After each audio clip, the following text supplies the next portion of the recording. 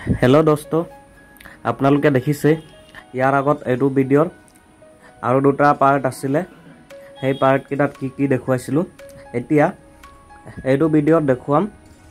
টেপিড adjust ৰকাৰ কভাৰত টেপিড adjust কেনেকৈ কৰে আৰু অইল প্ৰেছাৰটো কিমান আছে তাকে চাব এতিয়া।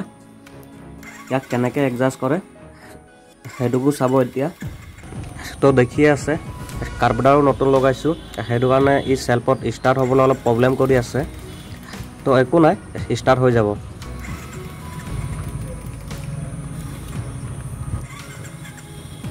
এইটোৱে দেখিছে। একদম ওপৰলৈকে ইঞ্জিন অইল আহি পাইছে।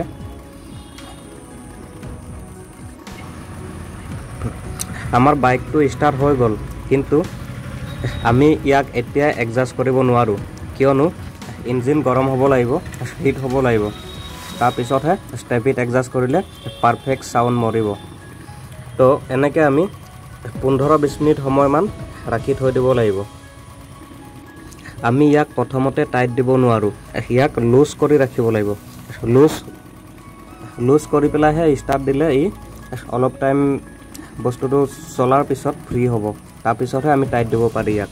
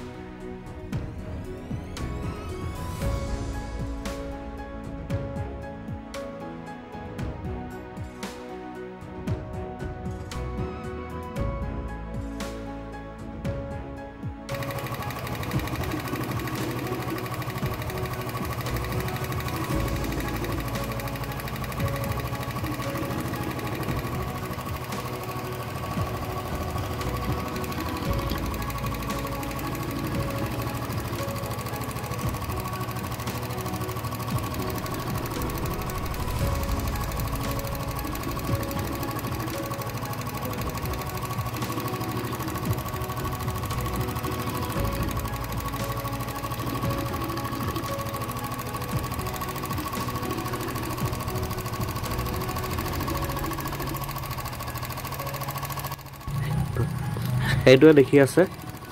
ইঞ্জিনটো বহুত গৰম হৈ গৈছে। এতিয়া আমি ইয়াক টাইট দিব পাৰি। আৰু এইফালে চাওক অইলৰ প্ৰেছাৰ একেবাৰে নাই অইল ওলোৱাই নাই। চ' এতিয়া ওপৰৰ বল্টুকেইটা টাইট দিলে তাৰপিছত অইলৰ প্ৰেছাৰ হাই হৈ যাব।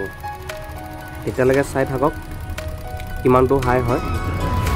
সেইটোৱে হ'ল একজষ্ট ছাইডৰ ৰকাৰ ইয়াৰ ওপৰত চাৰিটা বল্টু আছে। এইকেইটাও টাইট দিব লাগিব এতিয়া।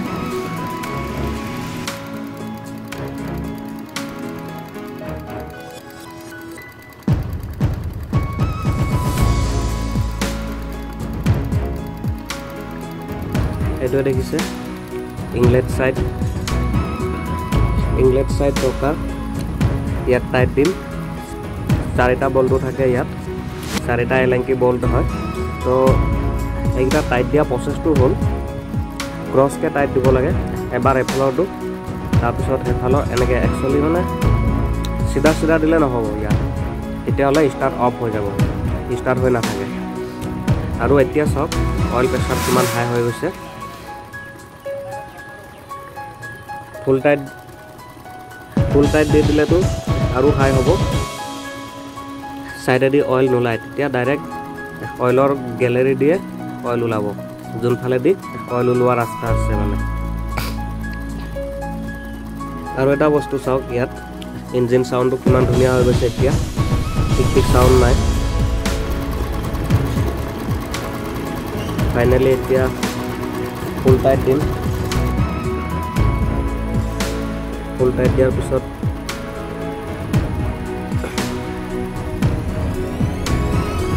দেখিছে নহয়?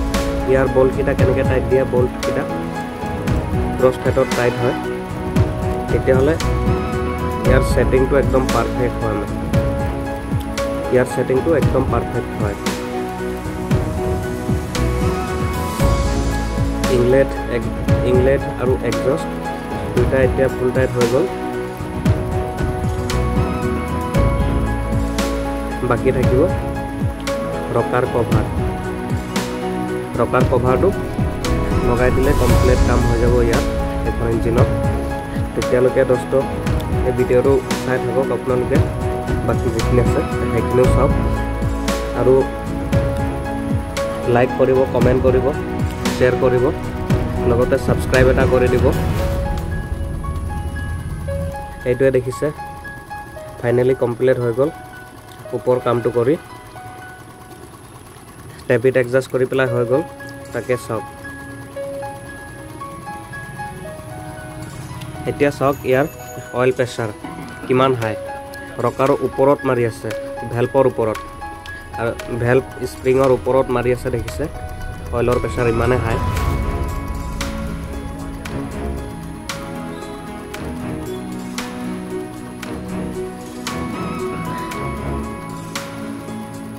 কিমান ভাল লাগিছে দেখিবলৈ।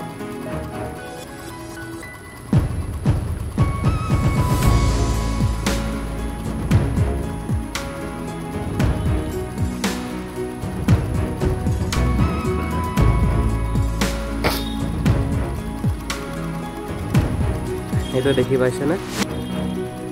অইল কেনেকৈ ওলাই আছে? কিমানটো প্ৰেছাৰত একচুৱেলি অইলৰ প্ৰেছাৰৰ অইলৰ প্ৰেছাৰ হাই হ'লে তেতিয়া ইঞ্জিন নইজটো নাহে। হাইড্ৰলিক ট্ৰেফিটো বেয়া নাহে। হাইড্ৰলিক ট্ৰেফিট বেয়া হোৱাৰ কাৰণ এইটোৱে। অইল পাম্প যদি জাম হৈ যায় তেতিয়া হাইড্ৰলিক ট্ৰেফিট বেয়া হৈ যায়।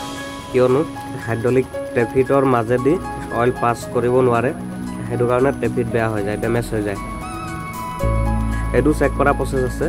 আমি কম মানে গোটেই কাম নকৰাকৈ প্ৰথমতে ইয়াক চেক কৰিব পাৰি। ডাঙৰ স্ক্ৰুড্ৰাইভাৰ লৈ। ডাঙৰ স্ক্ৰুড্ৰাইভাৰ লৈ হেল্পৰ ওপৰত স্ক্ৰুড্ৰাইভাৰ ভৰাই দাঙি দিলে তেতিয়া পুষ্টটো যোনটো যোনটো হাইড্ৰলিক ট্ৰেফিক বেয়া থাকে সেইফালৰ পুষ্টটো বহি যায়। চ' আৰু নকওঁ এইটো কমপ্লিট ফিটিং হৈ গ'ল দেখিছে।